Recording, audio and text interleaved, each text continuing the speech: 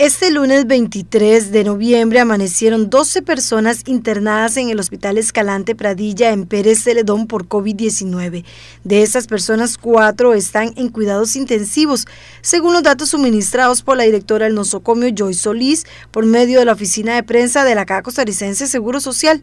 Estos pacientes permanecen en un área aislada que se adaptó en ese centro médico con el fin de atender a la población afectada por este coronavirus.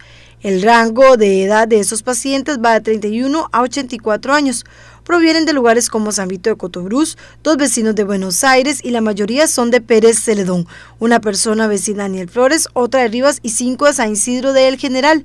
Con respecto a las consultas que surgieron de que se estaban al parecer trasladando pacientes de la capital a este hospital, Solís lo desmintió. Más bien informó que casi a diario se están trasladando entre uno o dos pacientes a hospitales del gran área metropolitana o al SEACO. Hoy, por ejemplo, se están realizando tres traslados, dos de ellos vía aérea, a cargo del equipo responsable del mismo.